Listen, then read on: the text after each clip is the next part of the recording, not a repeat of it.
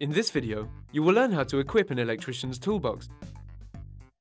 Having a complete and well-organized toolbox improves your efficiency in any electrical work you wish to do. To equip your toolbox, you will need a tool bag or toolbox, and a number of different tools, which we will describe for you. This presentation is divided into four types of tools and equipment. Type 1. Protective equipment and clothing. To make electrical conduits, for example, you will need gloves, safety goggles, and a protective mask. Type 2. Tools for tracing and marking.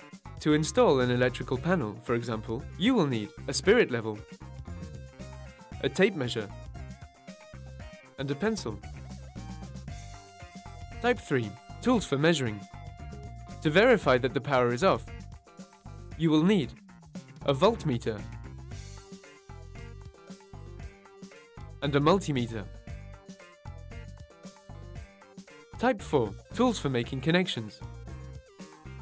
To connect an outlet or a switch, for example, you will need a number of tools, such as a hammer,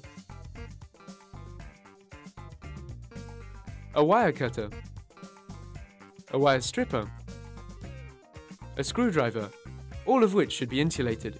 Tip: To insulate a metal tool, wrap the tool handles in insulating tape.